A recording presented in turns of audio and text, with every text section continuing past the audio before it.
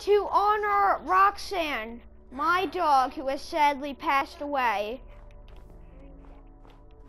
Today we honor her for all the great things she has done as a dog. May she rest in peace. Everybody pay your respects. Goodbye.